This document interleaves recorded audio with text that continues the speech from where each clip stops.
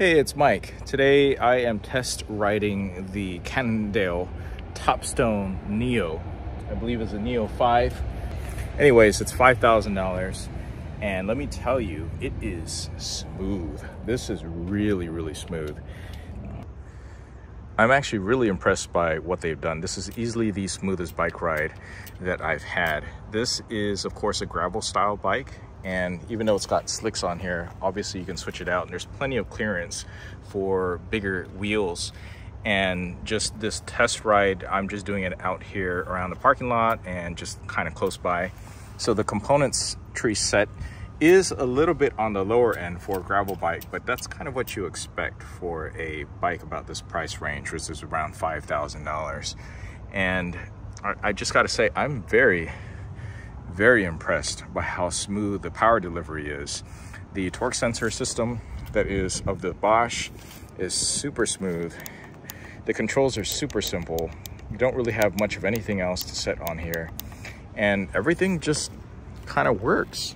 It just, I, I see why people spend a lot more on a Bosch mid-drive system and it makes sense.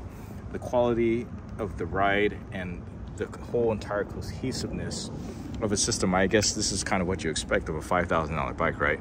It's just amazing.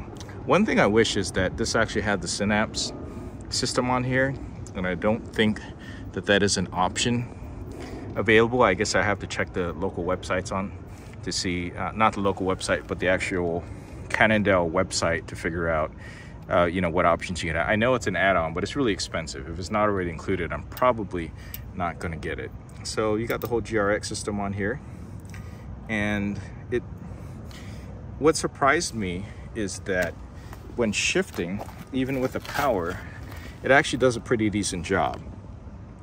It cuts the power just a bit. So it's the whole sensor's all integrated on there. That's something I haven't experienced before because I ride a lot cheaper bikes. Nothing nearly close to this expensive is something that uh, I've ever ridden as far as this classification of an e-bike. Now, this of course does not compare to the e-bikes that you know are easily normally class three and above without the torque sensor. And those obviously they don't do a good job as far as integrating the uh, the hub and the cadence sensor and your speed as well as this does. So this is very smooth, super duper smooth. And you know I, I just really like it. I'm, I'm actually very impressed with this bike. Now there's a lot of places to put on like so let's say fenders. There's a lot of mounting points on here. There is only one bottle cage no two bottle cage mounts down up here plus one up here which you can then use to attach you know other things in bags the charging ports here. Looks like this battery is going to be removable.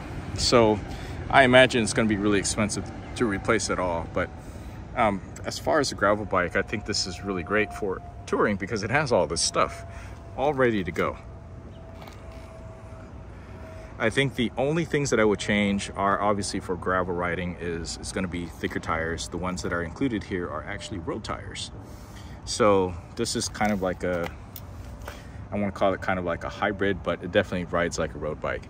Even without the power on, I feel like I can pedal it around no problem. And the weight is not too bad. It's definitely heavier than I thought it was going to be because of, of all all the power that is going through in this uh, the Bosch Active CX system. I think it's one of the higher end motors that are available at, at least for a bike of this classification.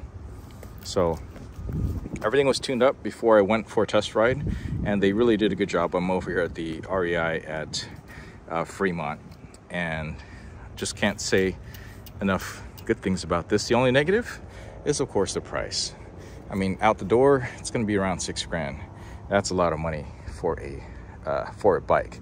So this is definitely for someone who's going to be really serious about riding like all the time and putting in thousands of miles into it. And hopefully all that works out. But I do like that, uh, you know, this is really simple to use.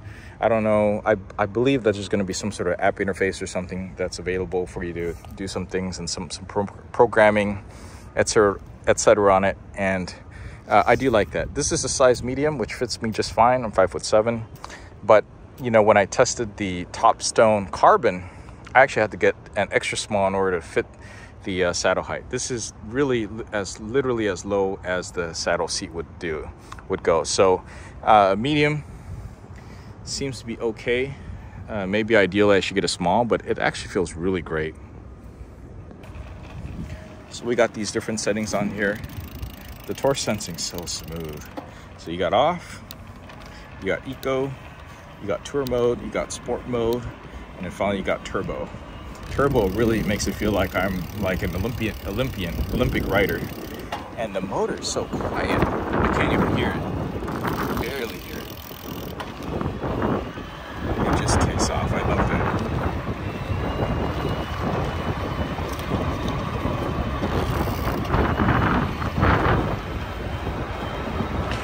It's very smooth. It tracks so well.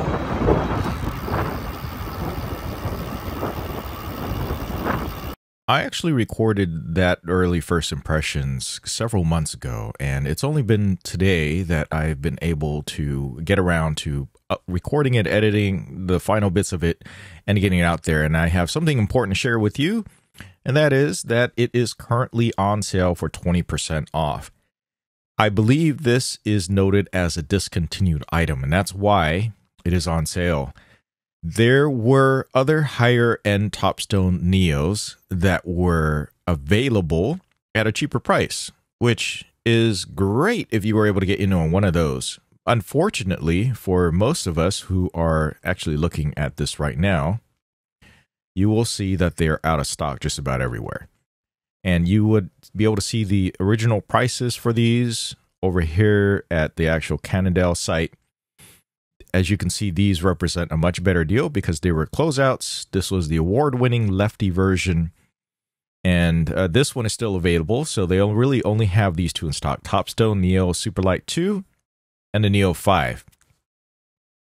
What would have been the best is if you were able to jump in and get on one of these. But as you can see, these are all out of stock, at least anywhere that I've been able to look for that I could check out at a local bike shop they were all out of stock. But this is this would have been the ideal one. Now you can take the Topstone Neo 5 and switch out the fork. You can get that separately so you get front suspension, but you can't do anything about the kingpin suspension back here, which does add a little bit more cushiness in the back. I believe it's about up to 30 millimeters of travel with this little suspension hinge over there. And I only know that because I had tested out the Topstone uh, Carbon 3L, which I did a little video on. I think it's on my separate channel. So we're we're pretty much left with this one and the Superlight 2 left.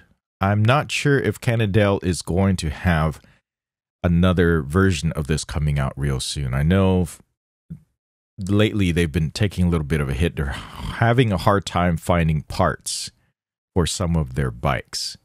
At least this is what I heard from the local bike shop. So you know, with with maybe financial issues that some other places are having, potentially that could be an issue.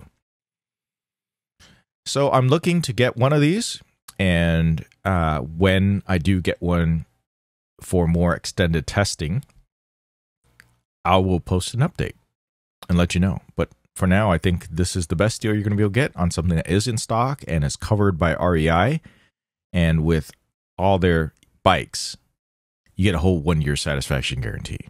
So you really can't lose too much as long as you are a member. I think it's like 60 or 90 days if you're not a member.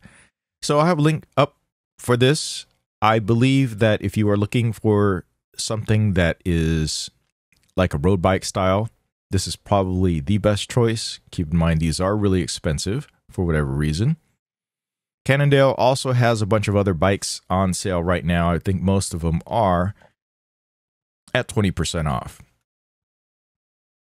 So please, if you are interested in getting one of these that are are in fact 20% off, I'll just point these out real quick. Please use my link. I'd appreciate it. That is an affiliate link to REI, of which I am an affiliate of. Okay, that's it for this video. Please give this a like and uh, subscribe for more. Let me know what you end up getting. Oh, you also want to stay tuned uh, in a video that's going to be dropping, I guess, either in two days or something. I have some very cool news to share with a very popular bike that I shared before, which is going to be 40% off. And that's probably the best e bike you can get for the money right now. Okay, thanks for watching.